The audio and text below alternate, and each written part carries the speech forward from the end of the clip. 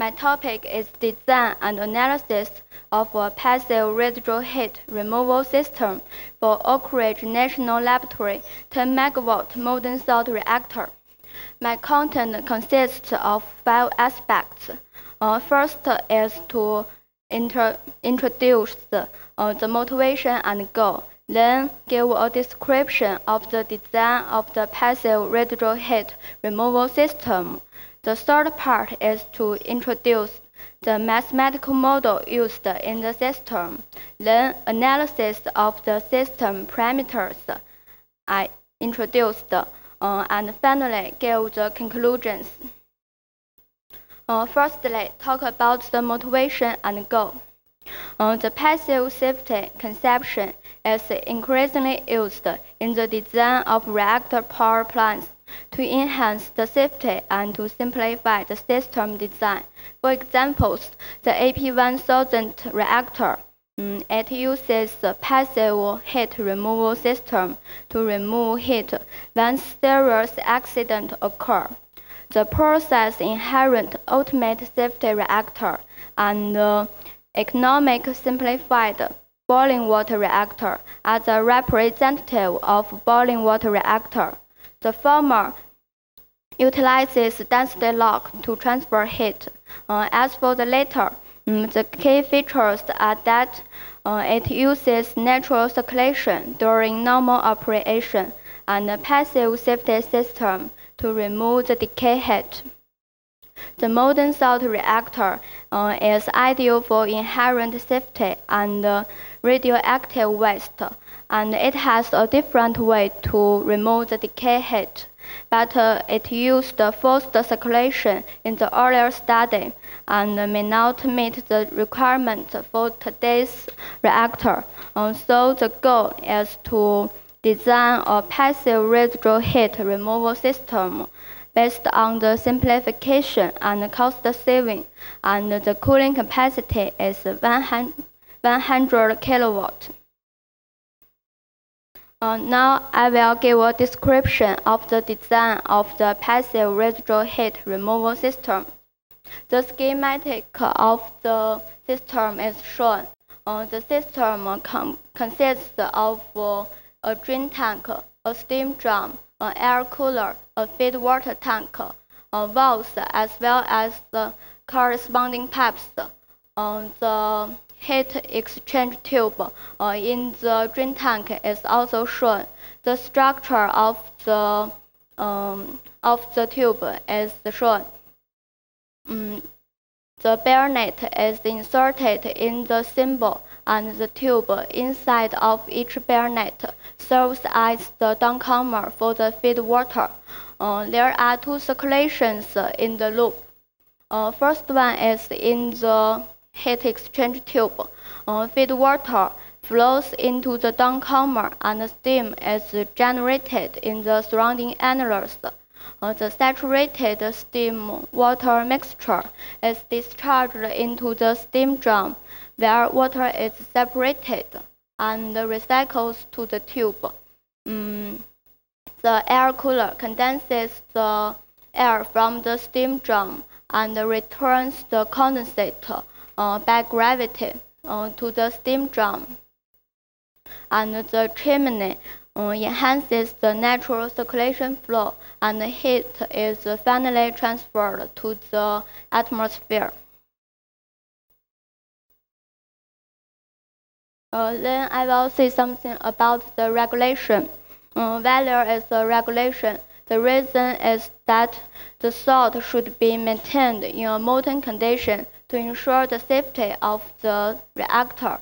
Uh, initially, the decay power and the cooling power are nearly the same uh, in, in the design, but during the early operation, as the decay power decreases rapidly, while the heat dissipation is still high, resulting in the quick drop of the salt temperature uh, when the decay heat generation is low.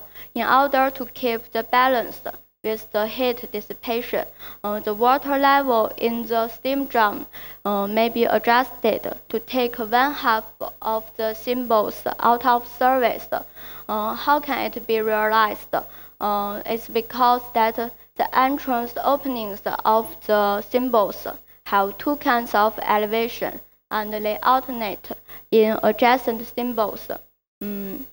When the system runs up to a certain time, regulate the three-way valve and uh, make the condensate flows into the feed water tank and not back into the steam drum.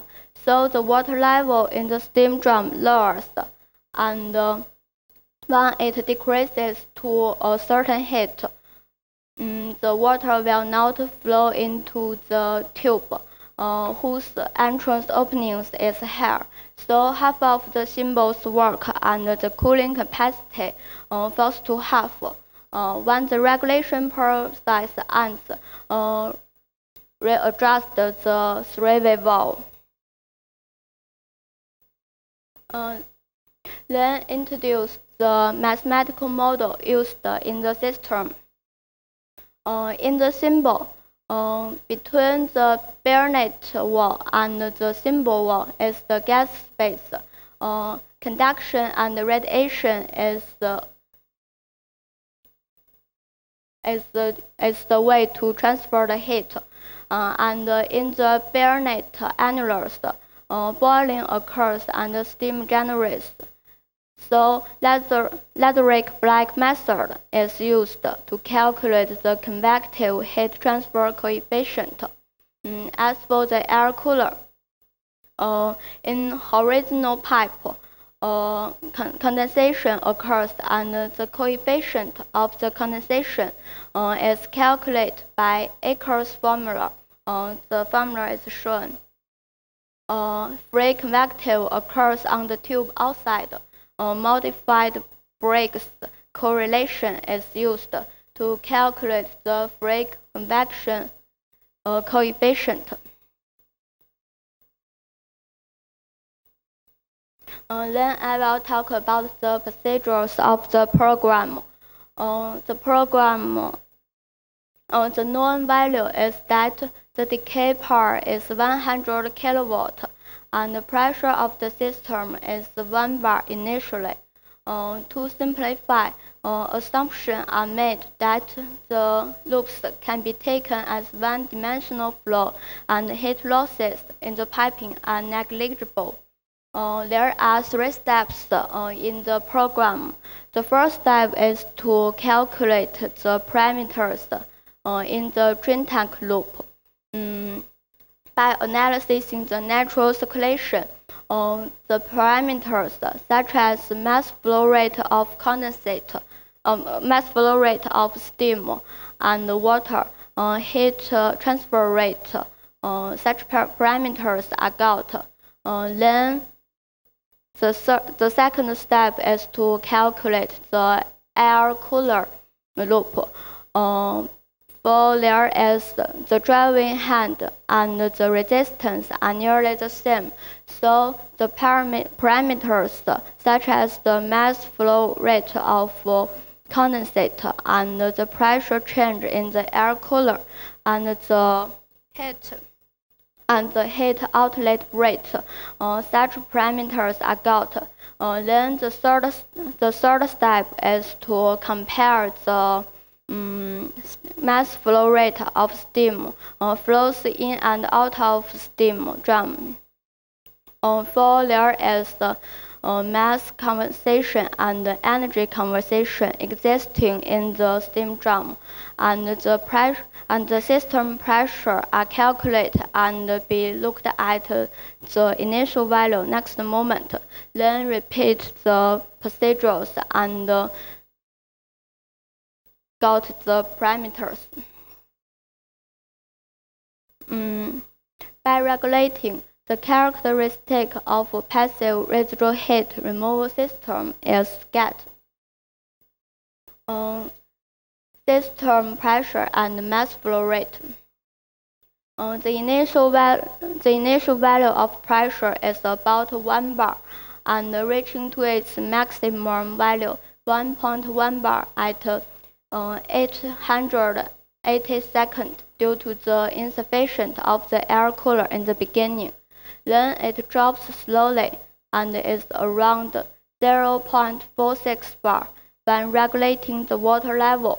Um, afterwards, uh, the system pressure varies very slowly uh, as the steam generation rate is approximate to the steam condensation rate. Uh, the mass flow rate of steam drops with the decay heat decreasing and declines to 0.12 kilogram per second as half of the thimbles work. Uh, the mass flow rate of condensate is adapted to the mass flow rate of steam. Heat removal rate. Uh, the decay power is uh, 100 kilowatt at first, and it declines to 30% at the initial of the initial value in 30 hours. Uh, heat removal rate of the drain tank decreases all along, and the maximum value is 107.8 kilowatt. Uh, the power of the air cooler just increases to 106.2 kilowatt after the system actuated, and then the cooling power decreases gradually. Uh, both of the both the of the drain tank and the air cooler are lower than the decay power after regulation. Temperature of the molten salt. Uh, the initial temperature is 936 Kelvin, and the melting point of the salt is 722 Kelvin. Temperature of the molten salt declines to 756 Kelvin in 11 hours. Uh, when the heat removal capacity is vacant during the regulation, the temperature rises from 748.2 Kelvin to uh, 756.8 Kelvin. Uh, then the temperature drops. Uh, 32 hours are required uh, to make the temperature decline to the melting point. So after 30 hours operation, um, the system should be closed. Um, the water level in the steam drum is 0.15 initially. Um, the level remains unchanged essentially and decreases in the act of regulating. Um, after the process of regulating, uh, the water level stays unvaried again. Uh, by analysis, uh, the conclusions are got that the heat removal capacity of the air cooler is a little larger than the drain tank. Both of them exceed the decay power before regulating the water level in the steam drum and reverse after half of the thimbles out of service. Mm, the pressure of the steam drum decreases quickly after the operation of the heat removal system, while changes very slowly after regulating the water level. Thank you.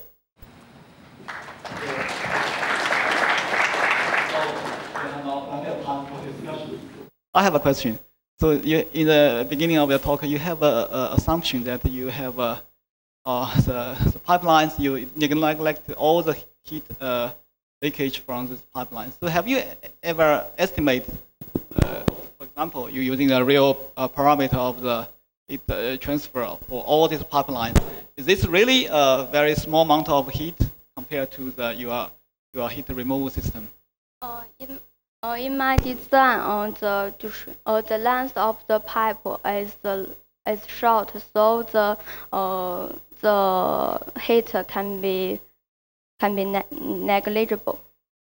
Is it insulate? Is it heat or thermal insulate uh, uh, material uh, lighting uh, of the this the pipelines? Uh, you have something uh, uh, to to to to cause it prevent the heat loss these pipelines.